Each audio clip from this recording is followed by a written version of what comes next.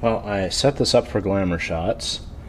Uh, this kit is uh, Rokr R O K R L K A 01. Uh, it has uh, the steam engine here, and it has a ton of cool features. Um, I am a sucker for steam traction engines, so this model kit, when it appeared, uh, there, that's the problem.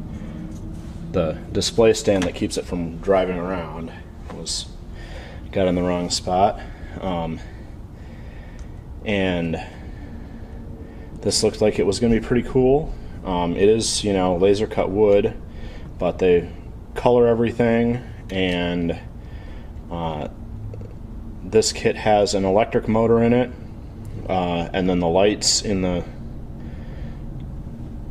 uh, smokestack and the through the boiler, which is kind of cool. Um, and it's got a tip up cab so you can see the little guys that sit in there.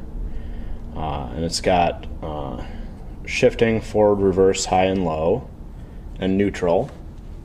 So that's pretty cool. Uh, the steering wheel is a dummy steering wheel.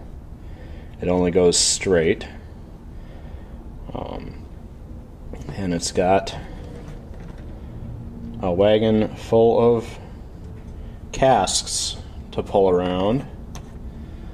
Uh, and uh, old timey looking light post and a little bench, so it makes a cute little diorama. It was relatively easy to build, uh, just like all the wood kits.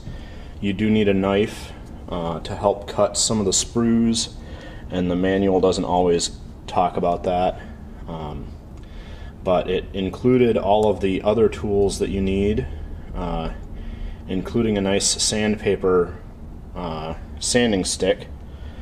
Uh, so the screwdriver, uh, a pair of tweezers, and the sandpaper stick that was in it was all pretty cool. And it went together really well and works really nice.